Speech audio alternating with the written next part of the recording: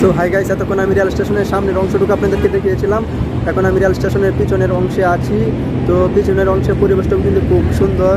আপনারা দেখতে পাচ্ছেন চতুর্পাশে সবুজ গাছপালা, বিশাল সমাহার। আর আপনার পিছনের সাইডে অনেক ফাঁকা জায়গা আছে। প্রতিদিন বিকালবেলা মানুষের ঘোরাফেরার জন্য। এটা আপনারা দেখতে পাচ্ছেন, আমি এখন পিছনের একদম সাইডে আছি পিছনের জায়গা আহ, দুইটা ভাই হয়তো গানের শুটিং করতেছে।